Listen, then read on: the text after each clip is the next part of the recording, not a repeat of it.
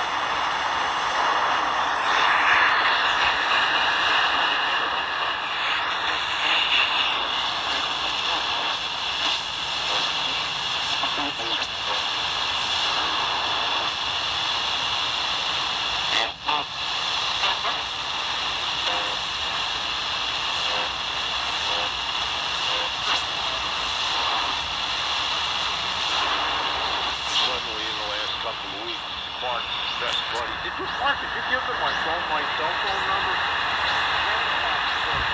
No, like maybe three times a day.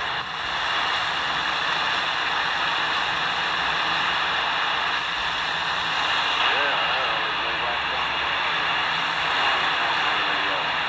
They, uh, they, they, they, they call me the ALI, so it looks like they just, I mean, you know, it's it's a number that matches the, your phone. So it's really, uh, that's, that's pretty much scam. I'm getting tired of that because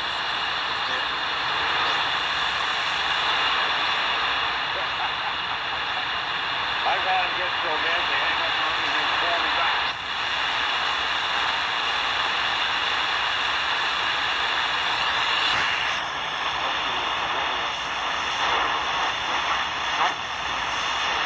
Yeah, it, wa- it was good. So, eh, some stuff was good, some wasn't. We don't talk about the bad stuff, only good stuff.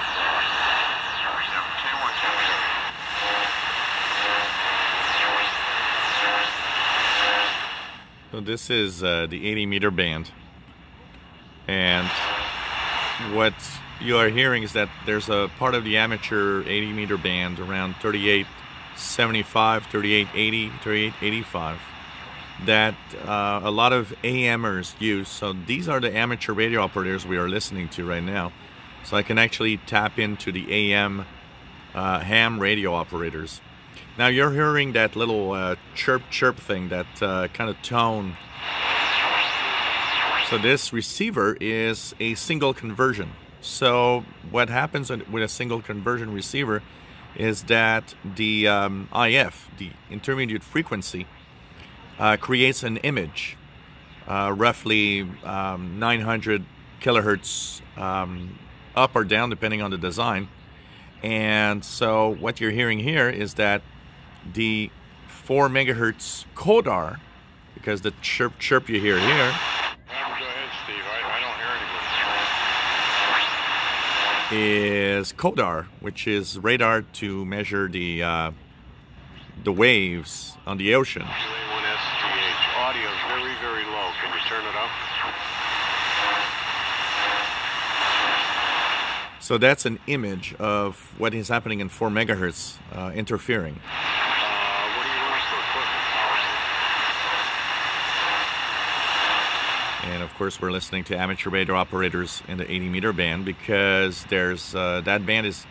Uh, you might wonder why a receiver has the 80 meter band. Actually, the reason why they added this uh, is that there's a 75 meter European uh, band where there are some uh, international broadcasters.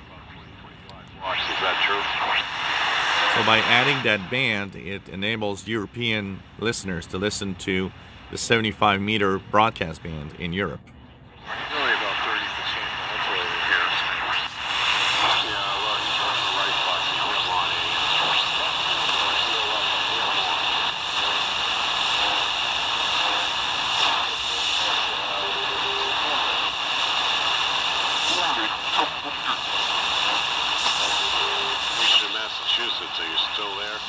I heard you say you're from Massachusetts, but I didn't get the town. This is WA1STH, and I'm located in southeastern New Hampshire. Go ahead.